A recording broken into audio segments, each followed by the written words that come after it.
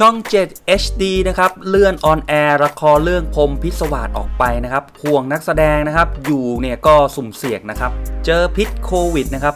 ช่อง 7 เนี่ยประกาศออกว่าจะเลื่อนออกอากาศนะครับ ละครเรื่องนะครับพรมพิศวาสนะครับของผู้จัดคนเก่งนะครับของเจี๊ยบโสพิษนภานะครับ เพราะด้วยเหตุการณ์นะครับสถานการณ์ตอนนี้เนี่ยการแพร่ระบาดของโรคโควิด -19 เนี่ยทางช่อง 7 เนี่ย ก็มีความเห็นว่าน่าจะต้องเลื่อนการออกอากาศเรื่องนี้ไปก่อนนะ จากเดิมเนี่ยที่มีคิวจะออกอากาศปลายเดือนมีนานี้นะครับ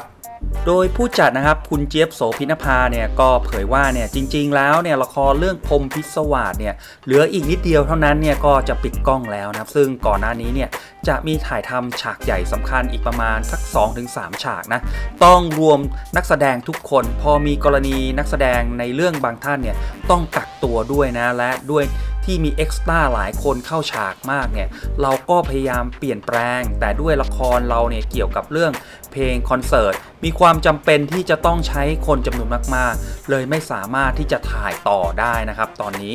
ซึ่งผู้จัดนะครับคุณเจี๊ยบเนี่ยก็บอกว่าเนี่ยซึ่งเราก็ไม่รู้อนาคตข้างหน้าว่า ระหว่างที่เราออนแอร์ไปนั้นเนี่ย สมมติมีเหตุการณ์อะไรที่ทำให้เราถ่ายทำฉากสำคัญที่เหลือไม่ได้เนี่ยถ้าเป็นแบบนั้นแล้วเนี่ยจะเดือดร้อนมากกว่าที่ไม่ได้ออนแอร์นะ ซึ่งต้องขอขอบพระคุณทางช่อง 7 HD มาด้วยนะ ที่เขาใส่ใจเรื่องคนมาก่อนนะครับ พอรู้เรื่องจากเราว่าทุกคนหวาดกลัวเหตุการณ์ไม่กล้าออกมานะครับทางช่องเนี่ยตัดสินใจให้เลยว่าจะทำแบบนี้ให้ไม่อิดออดที่จะช่วยเหลือ ไม่ใช่ว่าจะพูดถึงเรื่องค่าใช้จ่ายเลยนะ ก็พูดว่า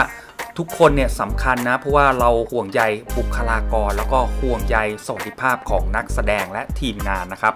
ทางผู้จัดนะครับก็บอกว่าให้อดใจรอนิดนึงนะ เมื่อเราพร้อมถ่ายทำเมื่อไหร่เนี่ยเราก็จะ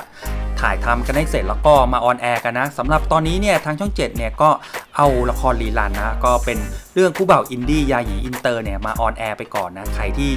ยังชอบเรื่องนี้อยู่นะก็สามารถเข้าไปดูได้นะสำหรับผู้บ่าวอินดี้ยาหยีอินเตอร์เนี่ยก็ยังออนแอร์อยู่ระหว่างวันจันทร์วันอังคารนะช่วง